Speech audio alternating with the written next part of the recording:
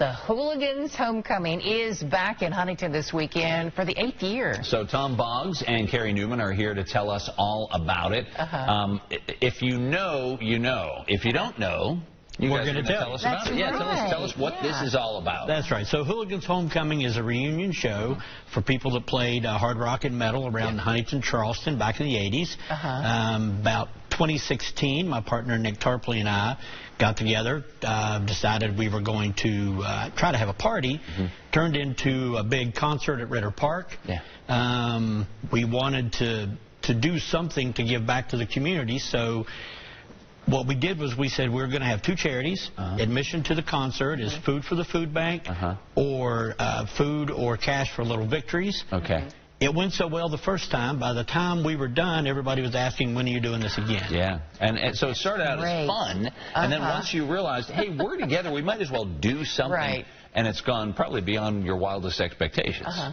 So over the last seven years, Yeah. this is the eighth year of the show, we have raised 86,539 meals. Gosh. Um, and over $7,000 and about two truckloads of supplies for Little Victories. Uh-huh. Uh, my big goal this year is if we can raise 13,000 and change, because my math is not what it could be. Yes. Um, 13,000 and change in meals, we can get over 100,000 meals raised just out of enjoying time together and playing Right. live music. Exactly. That is wonderful. But uh, another way you you all can help out, look at the cool shirts here. We've got pictures from uh, some of the bands there, but we also want to show everybody the shirts because, Carrie, you're wearing the new shirt style for this Mm-hmm. year. Tom, you're wearing one of the classic shirts uh, that we're going to show everybody here in a minute. We're, we're enjoying looking at some of the footage here. Look at these pictures. It really does look like a party. It looks like a fun time. It looks. It, you know what it looks like? It looks like a homecoming. It does. That's what it is. Ta- Talk about how With many a people bunch come of into this thing. So we have people, we've had people come from as far away as Alaska to attend this show.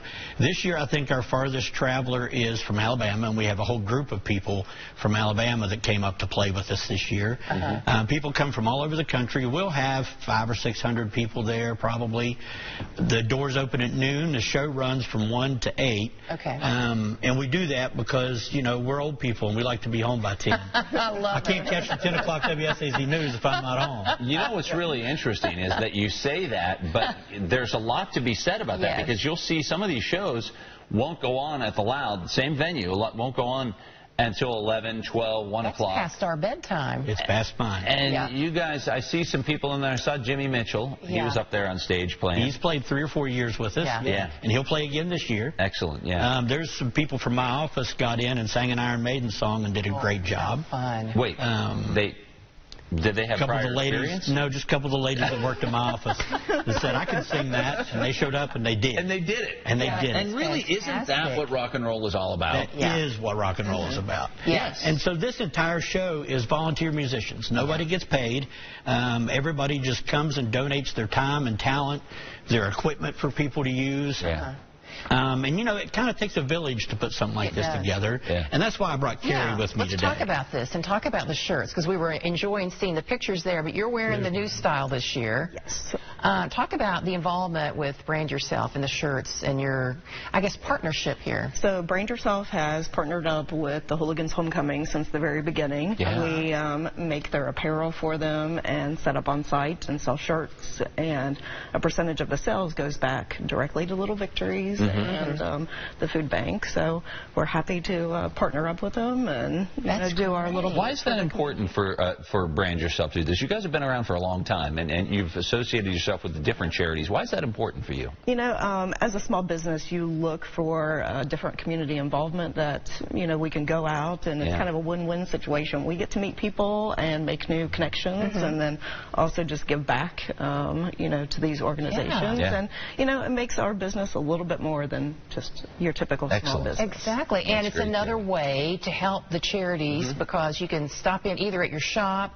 or come out to the event, buy a shirt, and that's also helping out Correct. uh, Yeah. supply food for the, the food bank or the pets. Yep.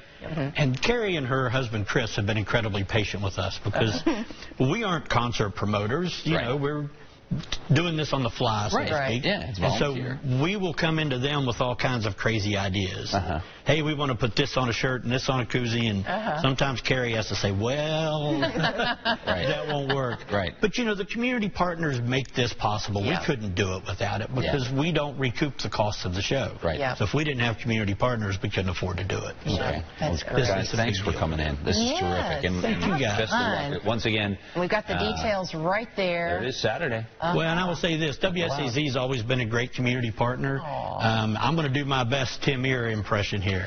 so if you want more information, hop over to our web channel, look at featured links, and you'll find information on the show and a way you can donate directly to Little Victories and to Facing Hunger, even if you can't make it out tomorrow. Well, I'm going to take the rest of Friday I off. think I'm just so. going to let Well, Tom take over. Yeah, Tom, you and I can finish That's out the perfect. day yeah, here. I can just stick, skip right out the door. Great job. I'm here. Great to see you, Carrie. Tom, thanks again, Tom. Carrie. Thank you, guys. for We coming in. appreciate really appreciate it. All right, as we go to the break, uh, Tom, you want to tell us what we're looking at right here? That's Huntington. Yeah. Oh, yeah. The WSAZ Beautiful weather view. cam on top of the studio here. Yes. Looking a little bit east and north of here. Look how beautiful that day is. And I'll tell you, Tony has promised us a nice day tomorrow, too. So we're looking forward to having a good time out in some good weather. See, I it's that it. easy. Yeah. Just read He's a the natural.